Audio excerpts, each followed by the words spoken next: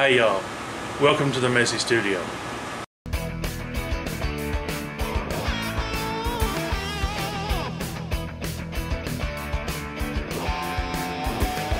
Hey y'all. Before we get started today, I got a sticker from my buddy Mike Walt, officially known as the Goblet King. That's how I've christened him, but not to be confused with the Goblin King. But let's put this sticker in its place of prominence, if I can keep from dropping it on the floor. Mike is a fantastic wood turner.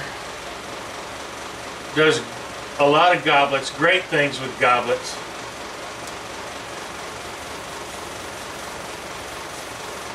And now I can be reminded of his smiling face every time I step up to my lathe. Today's project isn't going to be a turning project. I'm going to make something for my wife for Mother's Day. Hopefully I'll get it done by Mother's Day. I'm going to use my router and carve this out. And then I'm going to cut a chamfer or an angle off the back of this and mount it to another board so it'll sit on the desk. Actually, I, I'm I'm hoping she'll take it to her uh, classroom. She's a high school math teacher. I'm hoping she'll take it to her classroom and stand it up on her bookcase. But I think she'll like it. So let's get at it. Before I put the bit in, I used my Dremel with a brass brush and I cleaned it off cleaned all the, the glue from the last two carvings off of it. The brass won't hurt the carbide, won't chip it. And if you keep that bit clean, it'll stay sharp a whole lot longer. So I've got the bit in. I'm going to adjust my depth. I can see I'm a little too deep right now.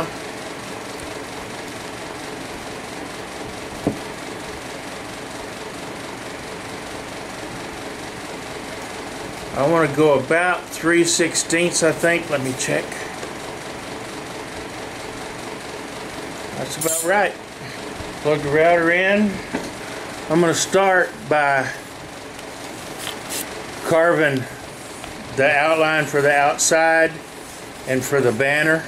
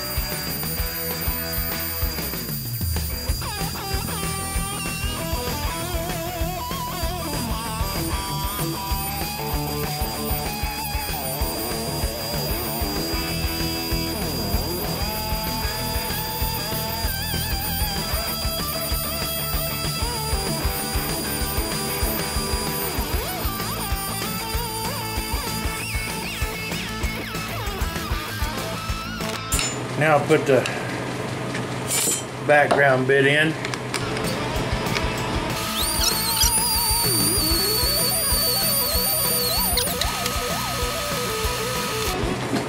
Take a short break.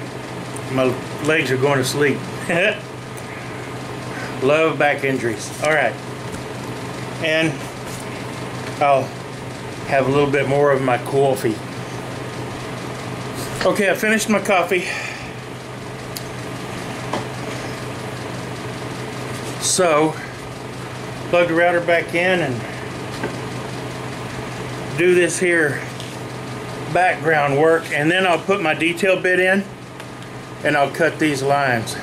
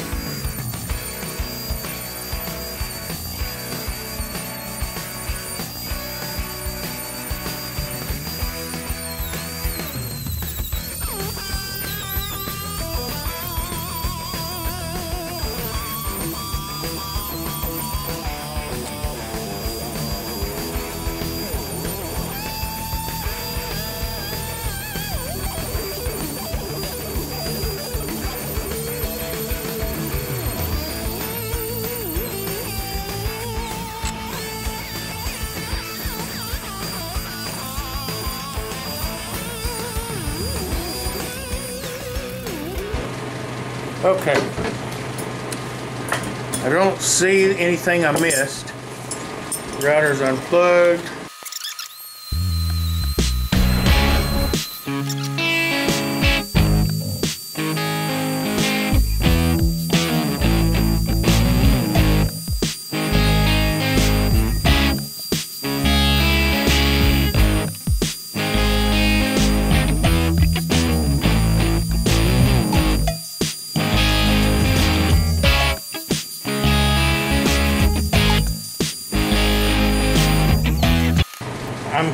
The cardinal sin of putting my tool away before I know, before I've done my sanding to know everything is okay. But I think it looks good. I don't think I'm going to have to do any more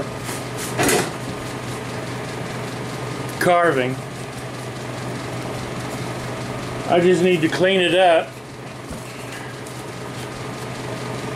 I just need to clean it up, put some sanding sealer on it after I sand it get the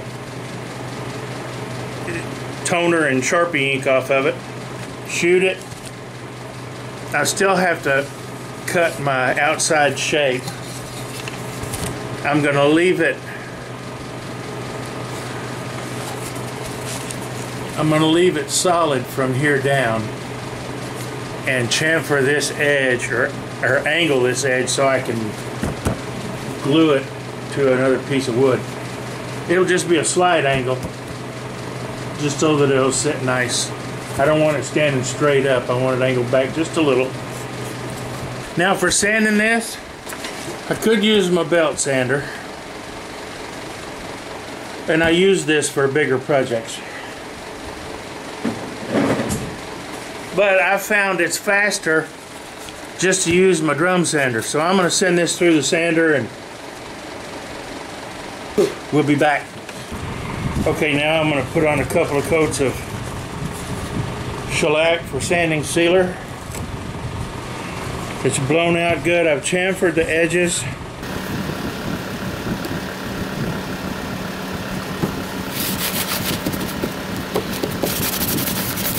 I'm going to put this on liberally, as you can tell.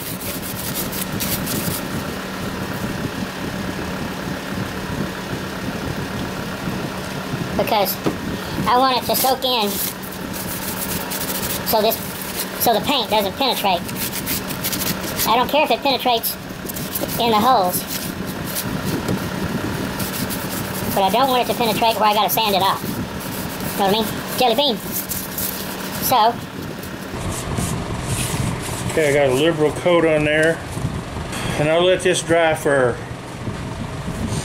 oh a good half hour and then we'll come back and I'll shoot it black and we'll sand it off. Okay, I've got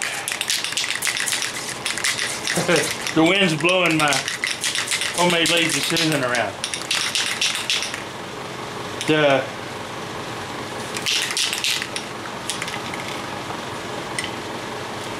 sanding sealer has dried so now let's fill all the nooks and crannies.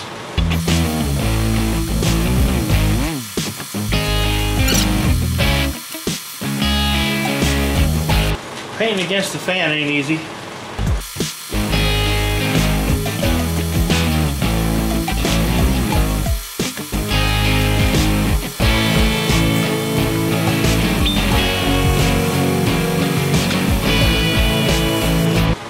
Worried about runs on the surface. I need to get that penetrated. Don't want any brown spots showing through the wood. I think we're good. Let this dry for an hour or so and come back and sand it. Okay, I've got this all sanded off. ready for the final finish to go on here. Cut that angle. It's looking pretty good. Now I've got to chamfer the edges on the base and then I'll sand I mean paint around the perimeter there. So let's get her done.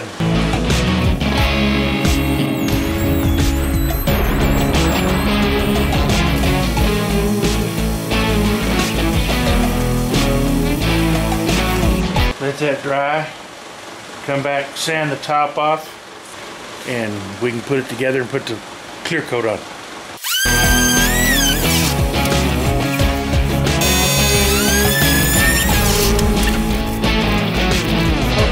Day.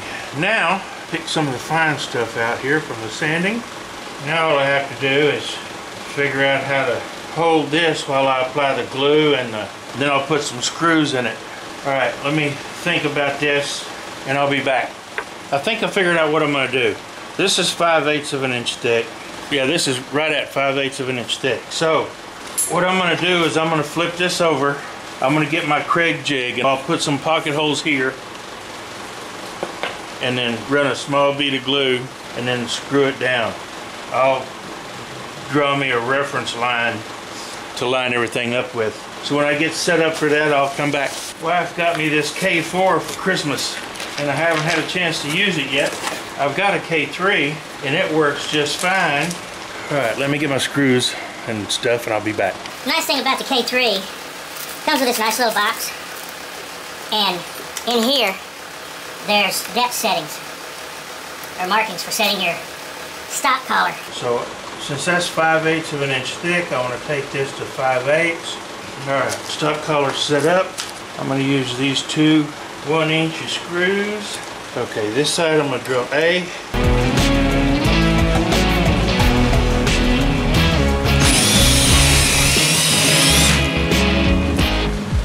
This, it don't have to be perfect. I don't know why I'm, well, yeah I do, I'm a perfectionist.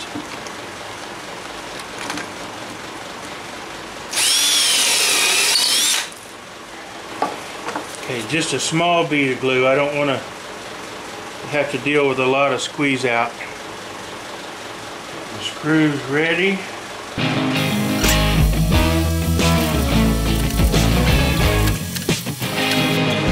Give that glue a few minutes to set up and crust over. And then I'll be ready to shoot her and I'll get set up for that. So, short of the finish going on it, there it is. Hope she likes it. But I'll show you the finished product in a little bit.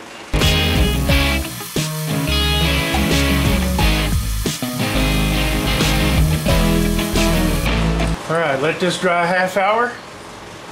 Put another coat on. I'll probably put four. And there we have it. Completed sign. Four coats of poly.